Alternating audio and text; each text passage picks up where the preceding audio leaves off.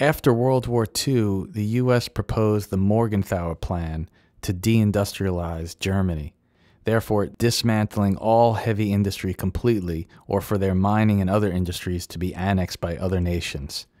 And deindustrialization was born.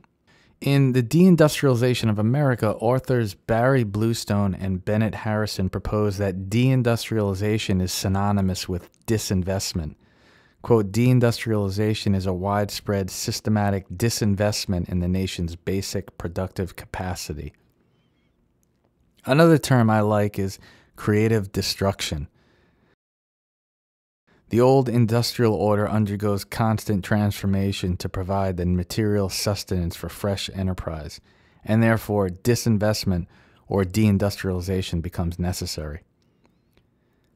The 1950s saw a peak of heavy manufacturing in many U.S. cities such as Youngstown, Ohio, and prosperity for the economy. The 1970s in the U.S. is considered the heyday of deindustrialization, when America saw plant closings in all major Rust Belt cities. However, lack of reinvestment in factory modernization caused the U.S. to fall behind burgeoning countries like Japan, ushering in the deindustrialization period.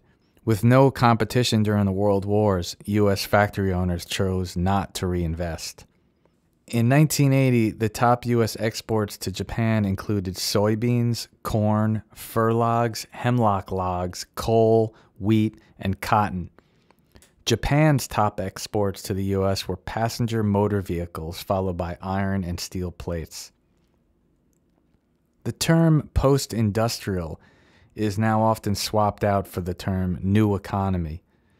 In the 1990s, the internet promised economic recovery from deindustrialization and hope for the future, but the dot com bubble burst in late 1999 and early 2000.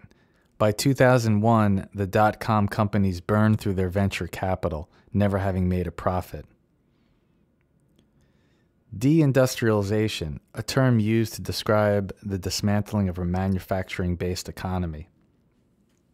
Post industrialism is an economy that is providing more service oriented jobs than manufacturing jobs.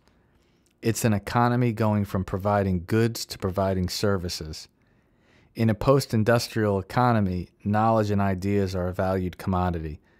Agricultural may also replace heavy manufacturing.